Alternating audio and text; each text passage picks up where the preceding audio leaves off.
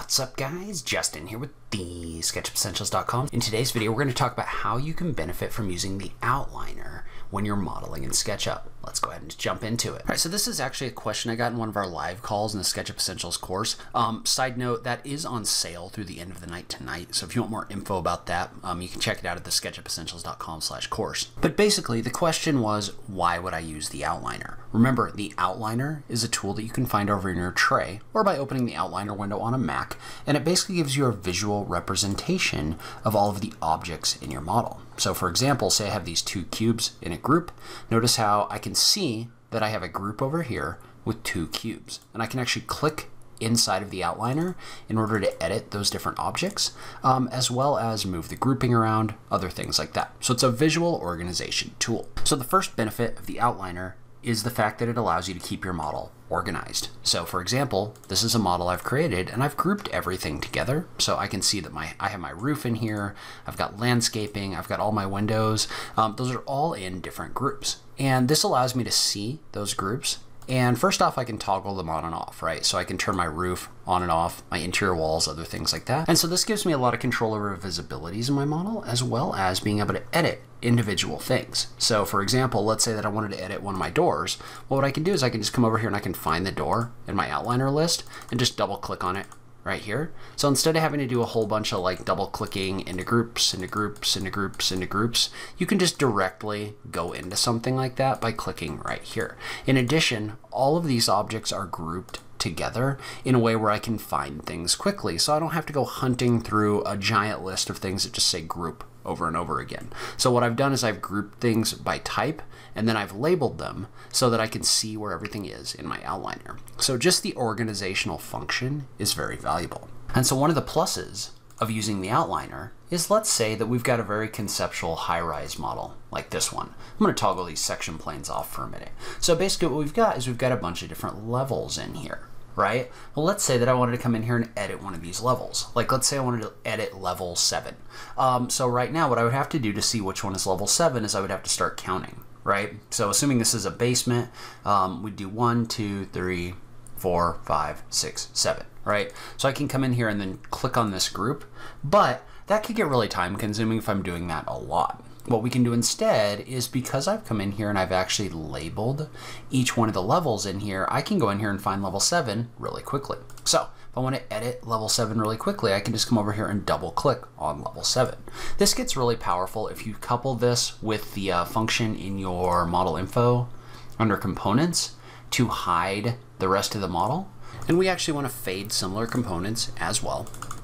So if I was to double click on this, so I can come in here and I can just edit level 7 without having to do any kind of counting or anything like that. So making changes is really easy. Let's say I wanted to edit a different level. I can just double click on this and notice how it's allowing me to quickly pick out whatever level I want. So this isn't only valuable for high rises, but this is a great example of where being able to find something based on a label can make your editing a lot faster. So another thing that's really valuable is this gives you the ability to quickly toggle visibilities of things in your models. So let's say, for example, that I wanted to work on this model a little bit. Well, right now there's a bunch of stuff in here, right? So we've got a bunch of furniture, we've got a bunch of uh, other things in here that I don't really need if I'm going to work on the actual shell of the building.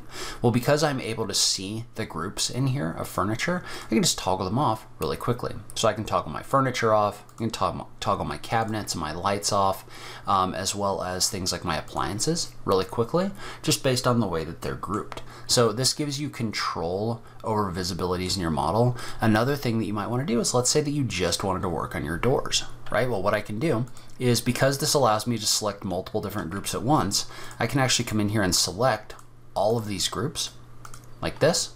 So everything in my model that I don't want, I can click on the eye function right here and I can hide them so that I can just edit my doors. So again, what this does is this gives me the ability to really precisely select and toggle visibilities on and off, which can be a massive time saver. And so another thing that's really powerful about this is let's say that I had a model like this one, which I've downloaded from the 3D warehouse, and I want to toggle the windows off. And so what I've got right now, and a lot of these 3D warehouse models don't necessarily come in grouped very well, but um, what I've done is I've grouped some of the windows together in a group that I've labeled windows. And I can toggle that on and off. But notice how there are some windows in here that aren't currently in that windows group. So you've got these right here, and you've got these right here. Well, what the outliner allows you to do is instead of me having to come in here and like, you know, try to cut these out and then find my window group, right? Scrolling down, double click in here and then doing an edit paste in place, which allows me to put that in the group. If I was to undo this, well then all I have to do in order to change their grouping is just drag them down and find that Windows group which again, notice how this isn't 100% organized.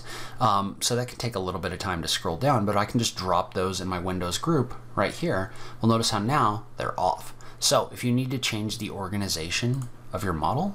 Um, this is a really fast way to do that because you can just click and drag things into groups. And so the other cool thing about this is because I can see the names of the component definitions, let's say that I wanted all of these clear story windows to be in a group. Well, instead of having to come in here and find them and click on them inside of my model, like this, what I can do instead is I can just do a shift click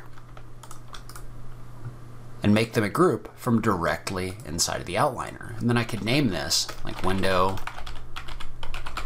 clear story, just like this. Well, now I have all of my clear story windows in a group right here. And I can do that for all of these different kinds of windows, which now gives me the ability to toggle those on and off from directly inside of the outliner. So another cool thing about the outliner is it also allows you to both group as well as edit section planes. So notice how for this building, for example, I've added section planes for the different levels like this, um, but it can still be kind of frustrating to have to come in here and do like an active cut for each one of these like this um, because you have to toggle these section planes on so that you can see them in the viewport in order to change them, right? Otherwise, you can't really do this. Well, the cool thing about this is you can actually adjust and activate section planes just by right clicking on them and clicking on things like active cut inside of your outliner directly. So what that means is that means I can toggle section planes off and if I've set these up and labeled them correctly,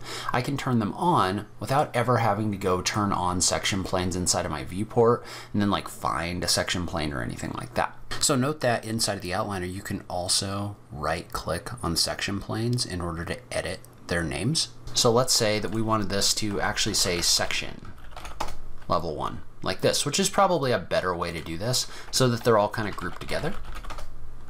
But notice how I have complete control over the labeling of those section planes and symbols inside of the outliner.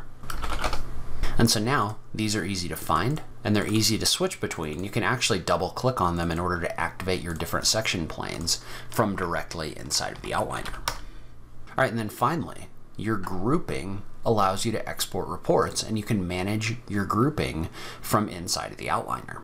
And so by controlling our grouping inside of the outliner and using labels properly, we can actually run reports. So let's say I wanted a report of the doors in this model. I'm just going to select my doors, do a file, generate report, and I actually have one set up that's going to give me the entity name, definition name, and quantity. And so if I click on run report, what that's going to do is that's going to allow me to actually export a schedule of objects right here, which I can then download to an Excel file or take over into layout, other things like that. So by controlling and setting up your grouping properly inside of the outliner, you can actually generate reports that you can use for plans in layout. All right, so I will link to another video about the outliner on this page. If you're interested in learning more about how to use SketchUp, make sure you check out my sale on the SketchUp Essentials course, which ends tonight. Um, I'll link to that on this page as well. As always, thank you so much for taking the time to watch this, and I will catch you in the next video. Thanks, guys.